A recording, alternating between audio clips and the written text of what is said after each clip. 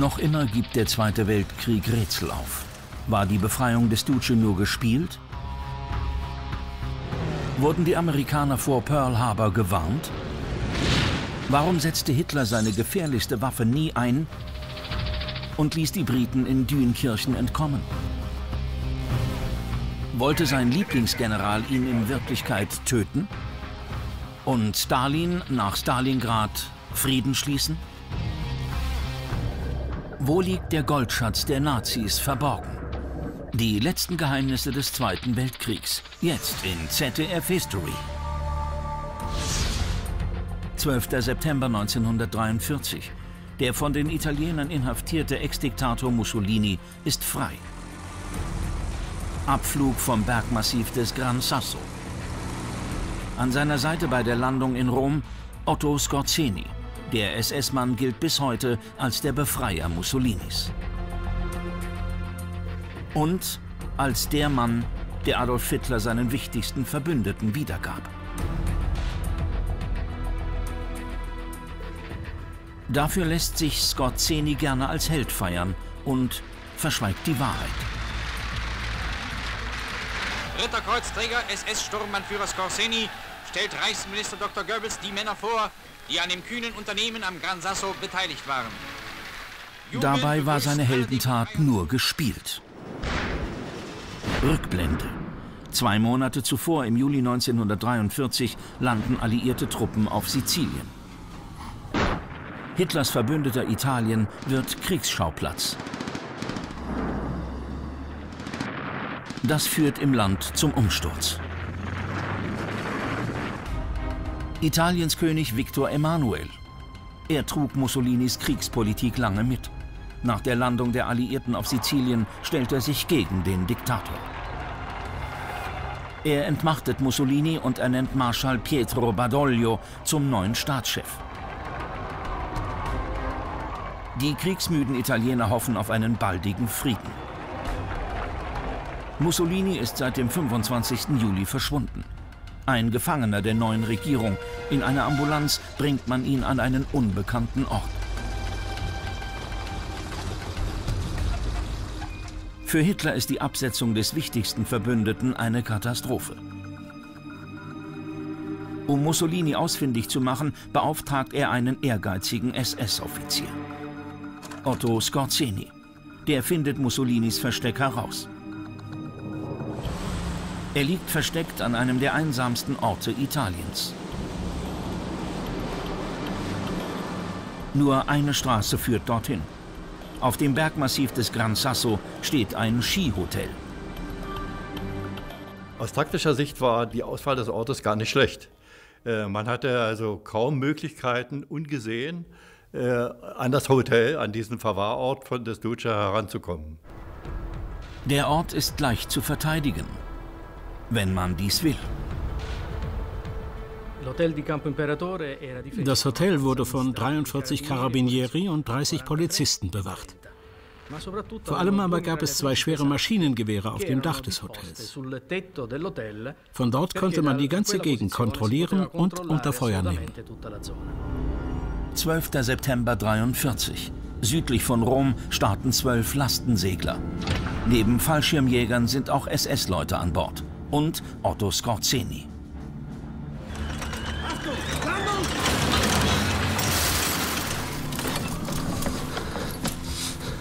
Inzwischen sind Fallschirmjäger, Männer der Waffen-SS und des Sicherheitsdienstes in dem unzugänglichen Bergmassiv in den Abruzzen gelandet. Sie stürmen auf das Gebäude zu, in dem der Duce von den Verrätern gefangen gehalten wird.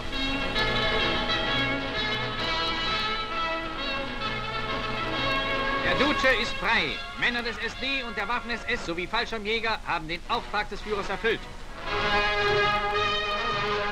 Links neben dem Duce SS-Hauptsturmführer Skorseni, der in kühnem, raschen Zupacken den Duce... Eines ist merkwürdig. Die Wochenschaubilder vom Gran Sasso zeigen keine Spuren von Kämpfen. Ulrich Wegener, Ex-Kommandeur der Elitetruppe GSG 9, analysiert das Geschehen. Das übliche Verfahren bei so einer Befreiungsaktion wäre natürlich gewesen, dass man die Bewachungskräfte ausschaltet. Auf welche Weise auch immer. Dass man ihnen natürlich die Bewaffnung abnimmt und dass man sie isoliert. dass man sie völlig trennt von dem Gefangenen, den sie zu überwachen hatten. Doch deutsche Fotos zeigen, die italienischen Bewacher sind noch bewaffnet. Sie posieren mit dem Duce für Erinnerungsfotos. Die italienischen Wachmannschaften waren offensichtlich schon gebrieft und waren vorbereitet darauf, keinen Widerstand zu leisten. Die Befreiung Mussolinis verlief unblutig und einvernehmlich. Keine Heldentat. Eine Schlüsselfigur spielt offenbar dieser Mann, Giuseppe Gueli. Gueli erhielt ein Telegramm aus Rom, in dem ihm empfohlen wurde, höchste Vorsicht in Bezug auf Mussolini walten zu lassen. Er erklärte dem verantwortlichen Offizier, dies Stichwort sei vorab vereinbart worden, es sei eine Anweisung aus dem Innenministerium, Mussolini den Deutschen zu überlassen und auf keinen Fall zu schießen. Doch warum geben die Italiener Mussolini ohne Gegenwehr frei? Der König hatte 1922 Mussolini die Macht übertragen und alle seine Gesetze unterschrieben, darunter die Rassengesetze von 1938 und die Kriegserklärung. Marschall Badoglio hatte seine Karriere im Faschismus gemacht, vor allem aber setzte er im Kolonialkrieg 1935 in Äthiopien Giftgas ein. Man hätte den beiden dafür den Prozess machen können, so einen kleinen italienischen Nürnberger Prozess. Und Mussolini Mussolini hätte mit Sicherheit über die Mitverantwortung des Königs und Badoglios ausgesagt. Die Rechnung geht auf. Mussolini regiert fortan einen faschistischen Reststaat in Norditalien. Zu einem Prozess, bei dem er seine früheren Helfer hätte belasten können, kommt es nie. Ende April 45 exekutieren kommunistische Partisanen ihn und seine Geliebte. Unser nächstes Geheimnis. Warum eine Katastrophe nicht verhindert wird, trotz aller Warnungen.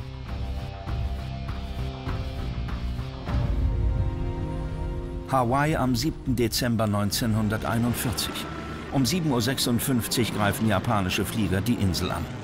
Binnen einer halben Stunde verwandeln sie den US-Flottenstützpunkt in Pearl Harbor in ein Inferno aus Feuer und Rauch, Blut und Öl. Mehr als 2400 Menschen sterben.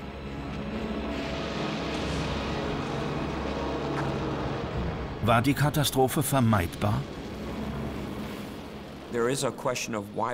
Die Frage ist, warum die Verantwortlichen nicht wachsamer und auf den Ernstfall vorbereitet waren. Darüber wird bis heute diskutiert. Tatsächlich gab es Warnungen vor dem Angriff.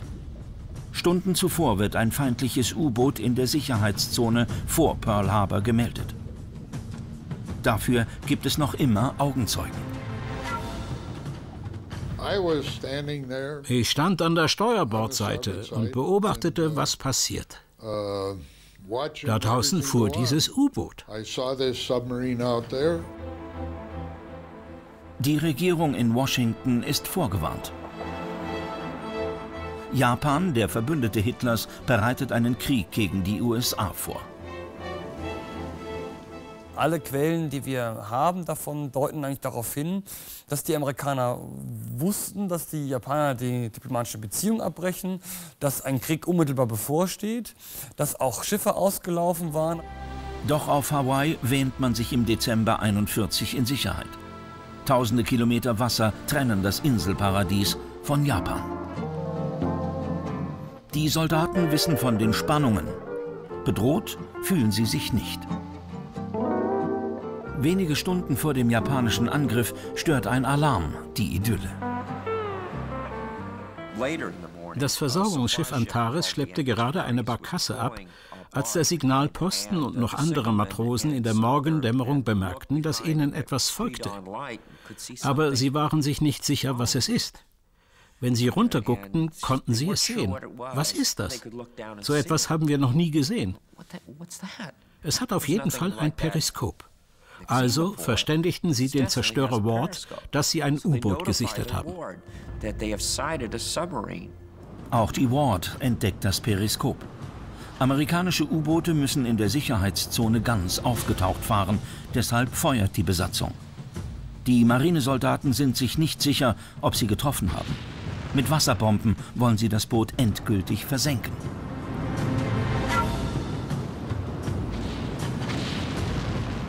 Will Lehner ist damals Munitionsträger auf der Ward. Ich sah, wie es direkt unter unserem Zerstörer versank, direkt unter mir. So etwas hatte ich noch nie gesehen. Ein so kleines U-Boot. Die Matrosen sind sich sicher. Sie haben ein feindliches U-Boot versenkt. Der Kapitän alarmiert sofort seine Vorgesetzten. Dann macht die Ward Meldung ans Hauptquartier in Pearl Harbor. Wir haben vor der Küste Wasserbomben auf ein U-Boot geworfen.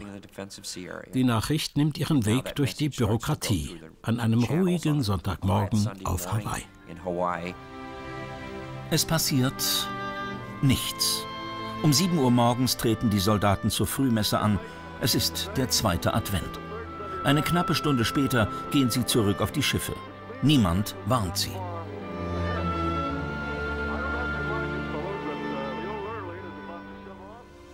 Der Oberbefehlshaber der Marine in Pearl Harbor, Admiral Kimmel, spielt zur selben Zeit Golf. Die Nachricht der Ward liegt unbeachtet auf seinem Schreibtisch. Kein Zufall. Worauf sich die amerikanische Marine vorbereitet hat, war alles eine große Seeschlacht in der Philippinensee. Darauf, das, das nahm man an. Und, und die Amerikaner haben eben überhaupt nicht damit gerechnet, dass die Japaner mit ihren Trägerflugzeugen äh, heimlich nun durch, die, äh, durch Tausende von Seemeilen Pazifik äh, dampfen und dann einen Überraschungsangriff starten. Zur selben Zeit starten auf einem japanischen Flugzeugträger Kampfflieger. Sie treffen in Pearl Harbor auf einen völlig unvorbereiteten Gegner. Ein Zeitzeuge kann es Jahrzehnte später noch immer nicht fassen. Ich habe immer wieder erzählt, dass ich auf der Ward war und dass wir eine Stunde und 20 Minuten vor dem Angriff ein japanisches U-Boot versenkt haben. Die Leute fragen dann, ihr habt es versenkt? Hast du einen Beweis dafür? Meine Antwort war immer, nein, aber ich habe gesehen, wie es gesunken ist. Rund 70 Jahre später finden Forscher der Hawaii University den Beweis für seine Aussage. Ein japanisches Mini-U-Boot. Im Turm ein Einschussloch, es passt zu den Geschützen der Ward. Alles fügt sich zusammen. Die Kugel der Ward trifft das Mini-U-Boot am Turm. Es ist das Todesurteil für zwei japanische Soldaten.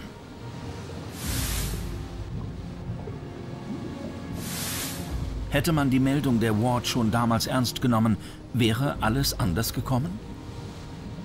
Das hätte nichts geändert, denn diese Versenkung dieses Klein-U-Bootes war kein Hinweis auf einen Angriff mit Trägerflugzeugen. Das war ja das Entscheidende, dass die Japaner überraschend mit mehreren hundert Trägerflugzeugen angegriffen haben. Also eine Verbindung von einem Mini-U-Boot zum Trägerflugzeug war damals eigentlich nicht, nicht zu leisten. Das Versagen von Pearl Harbor war ein Versagen der Vorstellungskraft. Man kann nur vor dem gewarnt werden, was man für möglich hält.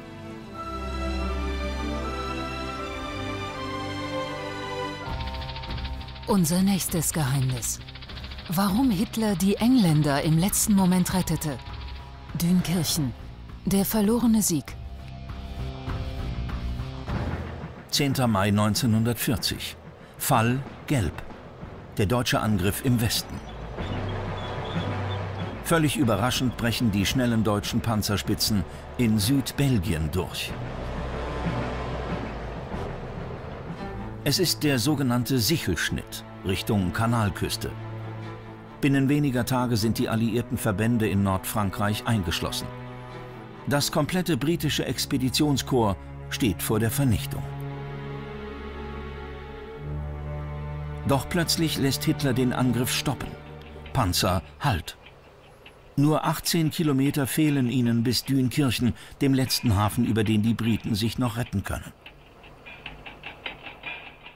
Ja, wir haben gedacht, ja, warum geht es nicht weiter? Wir haben, doch, wir haben doch alle Mittel da, wir haben unsere Panzer da, wir können doch die Engländer alle ins Wasser schmeißen. Nicht? Und dürften nicht. Als sie doch dürfen, sind die Gegner bereits übers Meer entkommen. Insgesamt 340.000 Mann. Für die Engländer das Wunder von Dünkirchen. Es rettet auch ihren Premier. Sehr wahrscheinlich wäre Churchill sonst gestürzt worden und ein anderer wäre Premier geworden, der vielleicht mit den Deutschen Frieden geschlossen hätte. Alles wäre anders gekommen.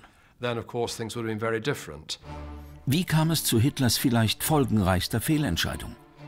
Warum hielt er sich nicht mehr an den Plan seiner Militärs, der so kühn und so erfolgreich gewesen war?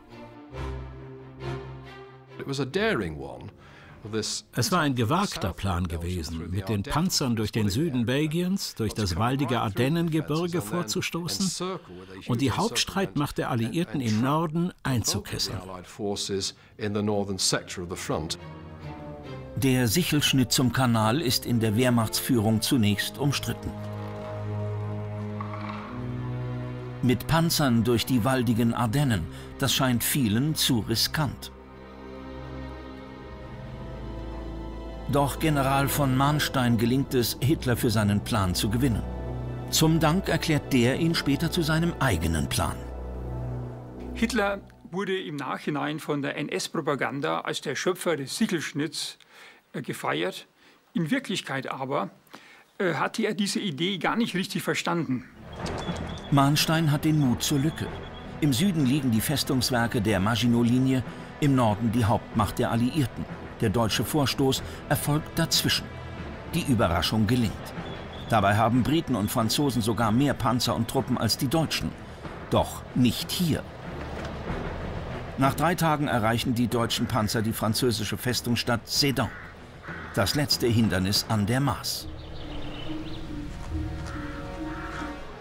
Unter dem Bombardement der deutschen Stukas fällt die Stadt am Tag 4 nach Beginn des Feldzugs. Hitler befiehlt in Sedan eine Marschpause. Die Truppen sollen den Flussübergang sichern und Stellung beziehen. Die erste Abweichung von Mahnsteins Plan. Nach ihm muss der Vormarsch ungebremst weitergehen, bis zum Kanal. General Guderian setzt sich über Hitlers Befehl hinweg. Er lässt seine Panzer sofort weiterfahren. Der Erfolg gibt ihm recht. Innerhalb weniger Tage erobert die Wehrmacht die französischen Hafenstädte am Kanal wie Calais und Boulogne.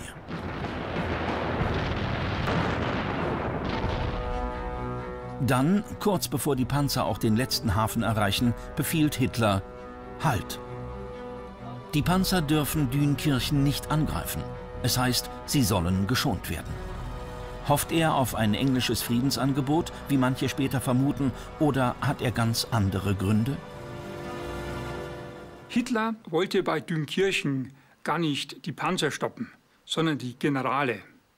Bei Dünkirchen kam es zum allerersten und auch zum letzten Mal zu einem Aufstand äh, des Oberkommandos des Heeres gegen Hitler, zu einer Art Machtkampf, einer Machtprobe.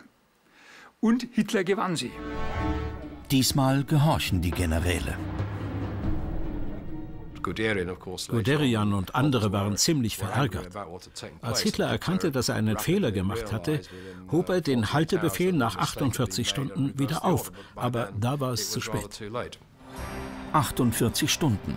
Ein Geschenk für die Briten. Sie ziehen sich in die bis dahin fast unverteidigte Stadt zurück und halten sie fast zehn Tage.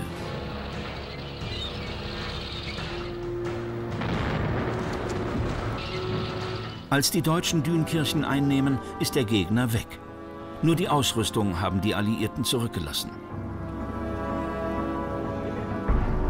340.000 Mann, Briten, Franzosen, Belgier, sind nach England entkommen.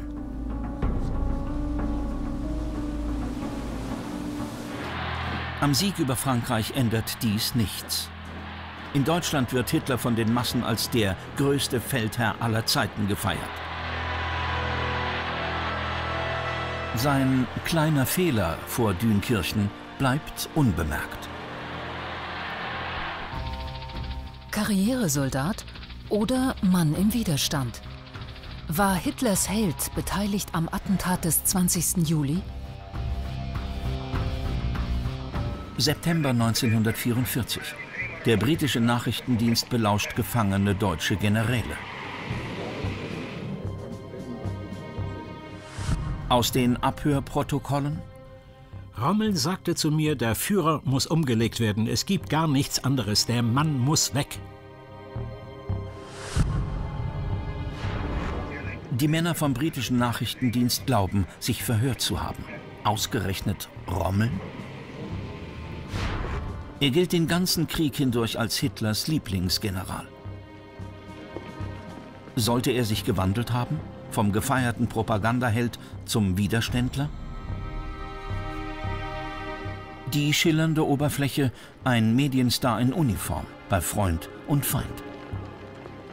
Ein General, der Autogramme gibt. Er ist der Liebling der Massen, der legendäre Kommandeur des deutschen Afrikakorps, Spitzname der Wüstenfuchs.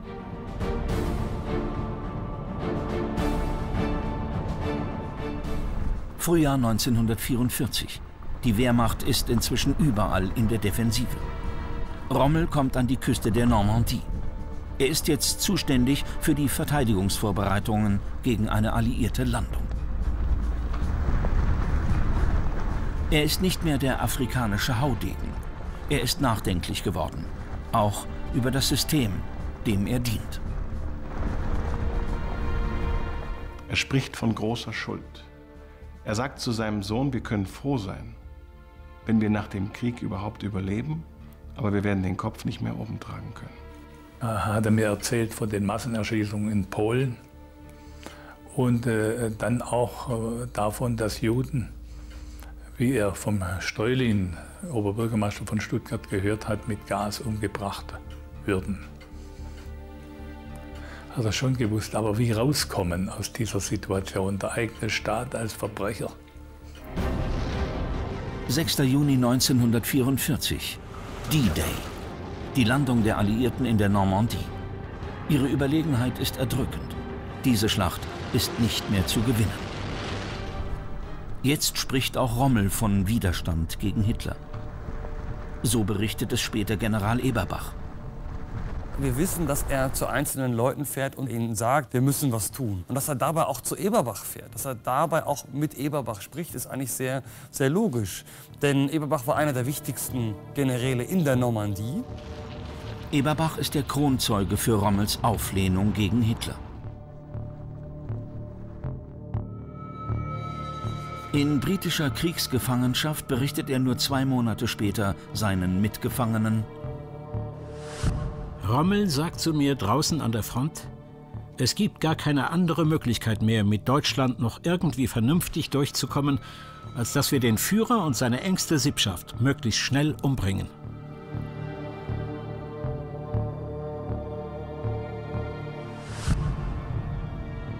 War Rommel wirklich im Widerstand? Das Dokument ist unter Historikern bis heute umstritten. Aus meiner Sicht äh, widerspricht dieses Dokument allem, was wir über Rommel wissen.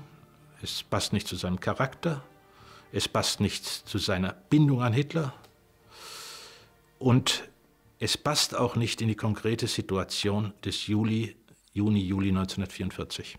Ich glaube, es passt schon zu Rommel, denn Rommel war ja kein statischer Charakter, keine statische Person. Der Rommel des Sommers 1944 war ein ganz anderer ähm, als im Sommer 1940. Nicht Rommel verändert sich, Rommel macht eine Entwicklung durch.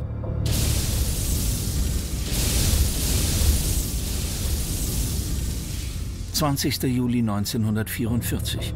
Das Attentat auf Hitler. Es scheitert. Hitler überlebt weitgehend unversehrt und besucht Verletzte des Attentats. Sein Lieblingsgeneral ist zu diesem Zeitpunkt noch unverdächtig. Nach einem Fliegerangriff liegt Rommel selbst im Lazarett in der Normandie. An seine Frau schreibt er, Zu meinem Unfall hat mich das Attentat auf den Führer besonders stark erschüttert. Man kann Gott danken, dass es so gut abgegangen ist. Das ist eine Absicherung. Das ist den Führergetreuen, den unreflektierten Anhänger geben zur Absicherung. Das ist für die Zensur geschrieben. Es nützt ihm nichts. Im Zuge der Ermittlungen gerät auch Rommel ins Visier des Regimes. Ja, also zunächst ist es nicht klar, dass, dass Rommel ähm, beteiligt ist. Ähm, auch Hitler geht davon nicht aus, aber das Entscheidende ist wohl, dass der Name Rommel in mehreren Verhören fällt. Das ist für Rommel de facto das Todesurteil gewesen. Das heißt, er musste aus der Sicht Hitlers und seiner Komplizen am 20. Juli beteiligt sein. Das ist der zwingende Schluss. 14. Oktober 44. Die Gestapo stellt Rommel vor eine Wahl, die keine ist. Entweder Prozess oder Selbstmord. Er war hoch erregt, er war auch bleich, aber selbstbeherrscht. Er hat, also die Stimme hat nicht geschwankt und auf jeden Fall erschien ihm das die günstigste Lösung. Er hat dann noch gesagt, es darf nichts über den wahren Hergang bekannt werden. Wenn, das, wenn hier irgendwas weitererzählt wird, ist die Familie weg. Das äh, äh, verschwindet spurlos. Eine Stunde später ist Rommel tot. In einem nahegelegenen Waldstück nimmt er Zyankali.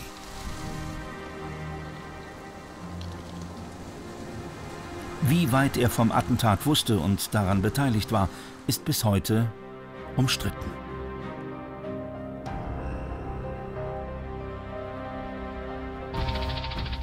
Unser nächstes Geheimnis war Englands und Amerikas schlimmster Albtraum. Wäre er fast wahr geworden? Stockholm 1943. Die Hauptstadt des neutralen Schweden ist im Zweiten Weltkrieg ein Zentrum der Spionage und der diskreten Gespräche. Im Juni 1943 erhält ein deutscher Diplomat hier ein unglaubliches Angebot. Stalin sei zum Frieden mit Hitler bereit. Eine Sensation. Zwei Jahre nach dem Überfall ist die Wehrmacht in der Sowjetunion auf dem Rückzug. In Stalingrad ist eine ganze deutsche Armee in Gefangenschaft geraten.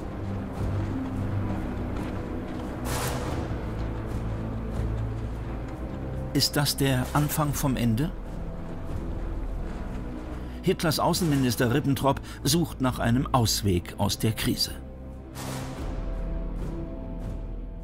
Jetzt war die Frage, wie geht es weiter? Also ein langer Krieg war eigentlich klar, den würde man wohl verlieren, wie im Ersten Weltkrieg. Also lag eigentlich die Option nahe, naja, wenn wir nicht gegen alle gewinnen können, dann müssen wir eben die feindliche Anti-Hitler-Koalition schwächen, indem wir einen Separatfrieden machen. Und einige wie Ribbentrop glaubten eben, naja, also wenn man sich einigen kann, dann, dann mit Stalin. Ohne Wissen Hitlers schickt Ribbentrop einen Vertrauten nach Stockholm. Am 17. Juni 1943 trifft dieser im Hotel einen Mann mit angeblich besten Verbindungen zur sowjetischen Gesandtschaft. Edgar Klaus. Der 63-jährige Baltendeutsche hat ein Angebot dabei. Der Kreml, so Klaus, habe nicht vor, allein für den Sieg über Deutschland zu bluten, während die Westmächte sich zurückhielten. Es erscheine an der Zeit, die von den Deutschen im Osten eroberten Gebiete zum Gegenstand eines Geschäfts zu machen. Friede gegen Gebiete? Gerüchte über eine Wende im Kreml gibt es schon lange. Immer wieder beschwert sich Stalin, er sei es leid, die Hauptlast des Krieges gegen Hitler-Deutschland zu tragen. Ist er trotz militärischer Erfolge zum Frieden mit Hitler bereit? Für Stalin war die Frage, ja, ich werde gegen Deutschland wohl gewinnen, aber um welchen Preis? Also war es wirklich sinnvoll, alleine diesen langen Krieg gegen Deutschland durchzufechten? Wäre es nicht sinnvoller, ähm, Kräfte zu schonen, sich mit Deutschland vielleicht zu einigen ähm, und dann lassen wir Deutschland und die Westalliierten einfach weiterkämpfen und dann wäre man der lachende Dritte? Das war ja eigentlich immer Stalins Kalkül. Das Stockholmer Gespräch wird ins deutsche Hauptquartier gemeldet. Doch Hitler reagiert anders als von Ribbentrop erhofft. Der Diktator wittert hinter dem Friedensangebot nur eine, Zitat, dreiste jüdische Provokation. Er droht den Beteiligten sogar mit Strafe. Ist er blind für die Chance? Das Entscheidende bei Hitler ist einfach, dass er in diesem ideologischen Kampf einfach keinen Ausweg sieht. Es ist eben nicht für ihn ein Kabinettskrieg des 18. Jahrhunderts, ähm, bei dem man sich dann irgendwann auf ein Unentschieden einigt, sondern es geht um alles oder nichts. Ähm, keine Kapitulation, kein Waffenstillstand, Sieg oder Niederlage. Und die Karte der Diplomatie existiert da gar nicht mehr. Außenminister Ribbentrop ist machtlos. Doch wie groß war die Chance auf einen Frieden mit Stalin wirklich? Wie seriös das Angebot von Edgar Klaus? Belegt ist, Klaus hatte tatsächlich Kontakte zur sowjetischen Gesandtschaft. Doch belegt ist auch, er war ein V-Mann des deutschen Militärgeheimdienstes. In Stockholm platziert von Abwehrchef Canaris persönlich. War das Friedensangebot gar nicht von Stalin? Es könnte jetzt sein, dass Canaris die Vorstellung hatte, Hitler müsse sich doch irgendwie einigen mit der Sowjetunion, ähm, das selber initiieren wollte und die Deutschen mit sich selber sprachen, sozusagen. Das, es könnte aber auch sein, dass Klaus einfach im, in der Tat im, im, äh, substanzielle Kontakte zur sowjetischen Gesandtschaft aufgebaut hat, dass die sowjetische Seite mal testen wollte, ähm, wie weit kommen wir denn damit. Am Ende bleibt Stalin beim Bündnis mit Großbritannien und der USA, mit Churchill und Roosevelt. Hat er je ernsthaft an einen Separatfrieden mit Hitler gedacht? Es bleibt sein Geheimnis.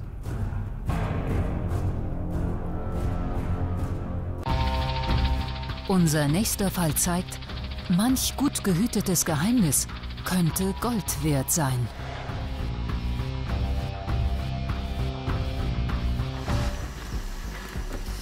Frühjahr 1945.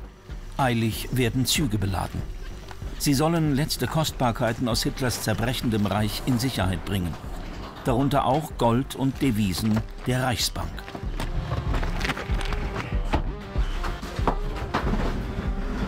Ihr Ziel sind die Alpen. Dass Kunstschätze in die Alpenregion verlagert werden, dass auch Teile des Reichsbankgoldes und dergleichen verlagert werden, liegt einfach an der Geografie dieses Ortes. Es gibt dort ähm, SS-Truppen, es gibt dort noch Material und so weiter. Und ähm, es ist ja auch geostrategisch und würde es ja Sinn machen, wenn man einen Endkampf führen will, den in den Alpen zu tätigen. Gegen die alliierte Übermacht steht die Wehrmacht auf verlorenem Posten. Nur die Propaganda spricht weiter von Sieg. Hier in den Bergen, so heißt es, rüsten sich deutsche Truppen für eine letzte Offensive. Die Rede ist von einer regelrechten Festung. Hitlers letzte Bastion, verteidigt von ortskundigen, fanatischen Kämpfern, koordiniert durch unterirdische Kommandozentralen, ausgestattet mit dem Neuesten und Besten aus den Rüstungsschmieden des Dritten Reiches. Der Mythos Alpenfestung ist vor allen Dingen ein Mythos. Hitlers ähm, Anordnung, eine Alpenfestung wirklich auszubauen, konkret was zu machen, ähm, ist im April 1945 getätigt worden und hat keinerlei Folgen mehr. Auf ernsthaften Widerstand stoßen die Alliierten hier nicht mehr. Wohl aber auf versprengte SS-Einheiten und Einheimische, die von merkwürdigem Treiben in den letzten Kriegstagen berichten.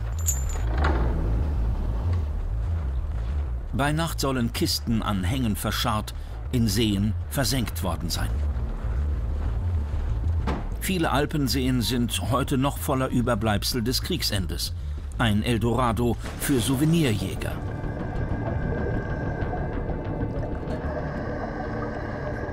Mülleimer des Dritten Reiches ist der Spitzname für den berühmtesten unter ihnen. Der Toplitzsee bei Hallstatt. In der Nacht vom 29. April 1945 versenken SS-Männer hier Dutzende Kisten. Was war drin? Womöglich Gold?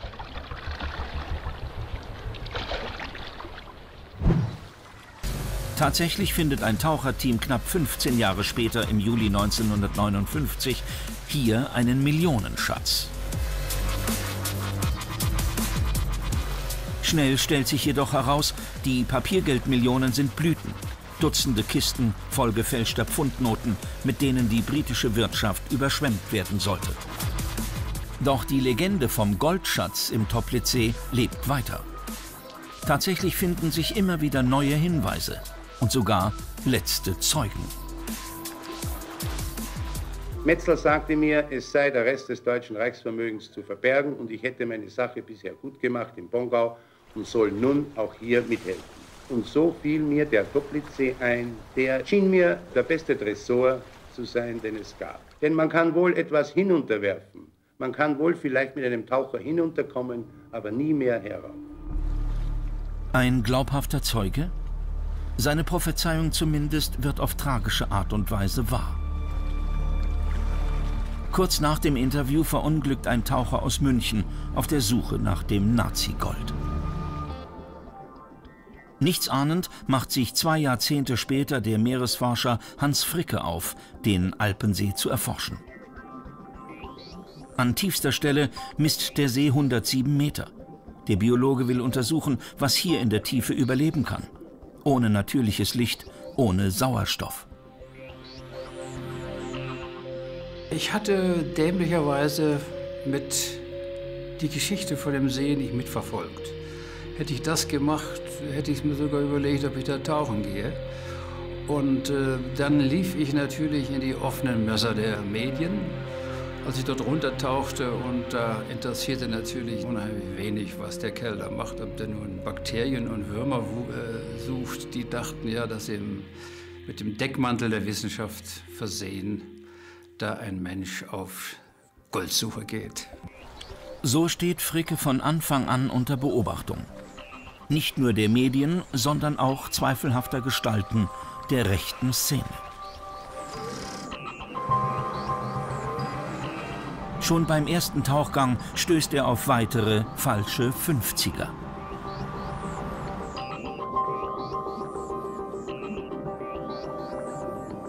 Außerdem findet der Meeresforscher reichlich Militärschrott. Reste von Wasserflugzeugen, Minen der Marineversuchsanstalt, die hier am Toplitzsee stationiert war. Eines aber findet er nicht.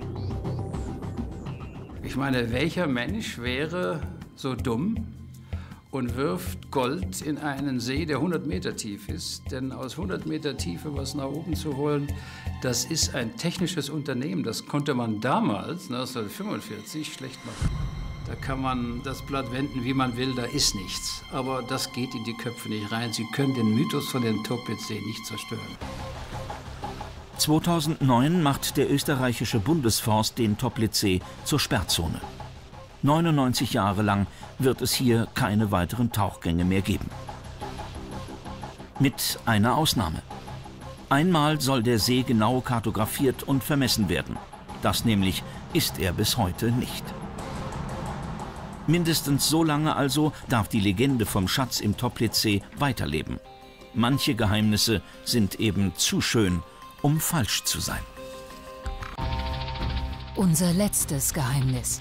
Es geht um die einzige Wunderwaffe, die Hitler wirklich besaß und nie einsetzte. Dühernfort an der Oder, nördlich von Breslau. Was hier produziert wird, gehört zu den bestgehüteten Geheimnissen des Dritten Reichs. Unter den rund 2000 Arbeitern sind polnische KZ-Häftlinge. Die sagten uns, ihr seid in einem Geheimkommando und keiner von euch wird hier lebend wieder rauskommen. Wenn ihr in das Hauptlager zurückkehrt, dann nur, um dort an die Wand gestellt zu werden. Keiner darf je erfahren, woran ihr gearbeitet habt, was für ein Gas das war, wie es roch oder aussah. Ihr werdet dieses Kommando nicht mehr verlassen. Auf der Suche nach einem Pflanzenschutzmittel hat ein Chemiker der BASF 1937 ein neues Giftgas entdeckt. Tabun. Farblos, fast geruchlos ein Nervengas. Die Militärs sind fasziniert.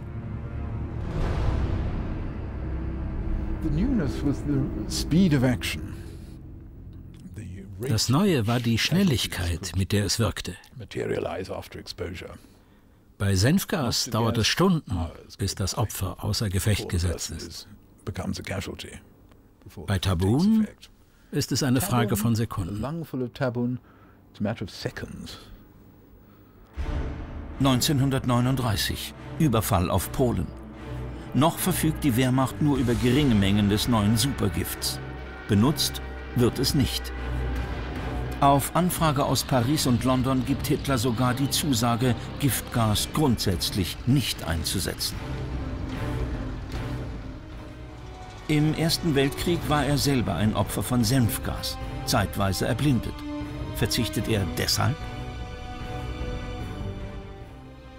Also es gibt keine einzige Äußerung äh, von Hitler, die diesen Verdacht äh, erhärten könnte. Hitler ist in solchen, auch in solchen Dingen eiskalt gewesen. Wenn er sich von einer Sache einen Vorteil äh, erhoffen konnte, dann hat er sie gemacht. In Dühernfurt wird für das neue Gift eigens eine Fabrik errichtet. Ziel sind 1000 Tonnen Tabun im Monat. Ein riskanter Job. Unsere Aufgabe bestand darin, das fertige Tabun in Granaten zu füllen. Das war sehr gefährlich für uns. Zwar hatten wir Atemschutzgeräte, aber das Gas drang auch durch die Haut in unseren Körper. Es machte uns schwach und fast blind. Anfang 1943 gerät die Wehrmacht in die Defensive. In Stalingrad verliert sie eine ganze Armee. Alliierte Bombenangriffe verwüsten eine deutsche Stadt nach der anderen.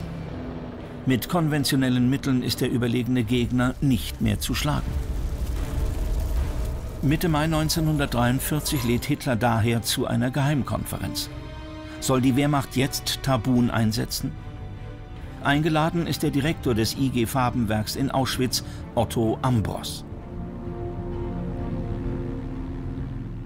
Otto Ambros gibt die Auskunft, dass man davon ausgehen muss, die Alliierten verfügen auch über Kenntnisse äh, dieser Art äh, von Chemie und man muss befürchten, dass es den Alliierten gelingt, innerhalb weniger Wochen und Monate auf diesem Felde nachzurüsten, dass sie dann auch über diese äh, Nervenkampfstoffe verfügten. Otto Ambros irrt sich. Die Alliierten haben keine Kenntnisse über Nervengas. Doch Hitler glaubt ihm. Für einen nur kurzfristigen Vorteil will er den chemischen Erstschlag nicht riskieren. Anfang 45 überrennt die Rote Armee den deutschen Osten. Hitler befiehlt den Siegern verbrannte Erde zu hinterlassen. Der berüchtigte Nero-Befehl. Alle Verkehrswege, Industrie- und Versorgungsanlagen sollen zerstört werden. Auch die Giftgasfabrik in Dühernfurt wird evakuiert. Auf einmal hat der, der Werksleiter uns, uns Betriebsführer zusammengerufen. Also Befehl des Führers, die Sache muss sofort gestoppt werden. In Berlin richtet sich der Diktator auf das Ende ein. Im Bunker unter der Reichskanzlei drängt Goebbels, Tabun endlich einzusetzen. Man habe nichts mehr zu verlieren. Hitler lehnt ab in seinem Keller dort nach einem alliierten Gegenschlag vergiftet zu werden, muss für ihn ein Horror gewesen sein. Er wollte lieber an diesem Mythos arbeiten, also heldenhaft gegen den Bolschewismus äh, mit der Waffe in der Hand kämpfend. Tabun kommt nicht zum Einsatz. Erst nach Hitlers Tod erfahren die Sieger von seiner Existenz.